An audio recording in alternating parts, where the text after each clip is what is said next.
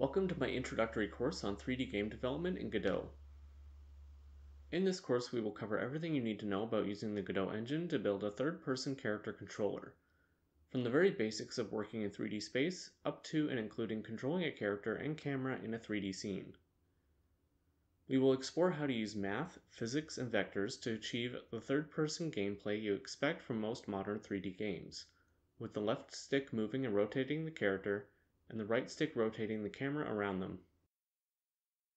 When you're done, you'll have a good understanding of third-person character control and a fully functional implementation that is highly customizable for any 3D project. Whether it's a platformer, action RPG, or even a cozy farm sim, you can take the project in any direction you wish. You'll also learn useful skills for working in the Godot game engine, organizing and designing your projects to be more scalable. You'll be learning how to code in GDScript with everything explained in detail. Our scripts will be written to be highly customizable and reusable.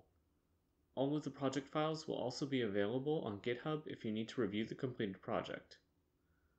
These videos were recorded using Godot version 4.2 and use assets downloaded from itch.io made by Kay Lousberg.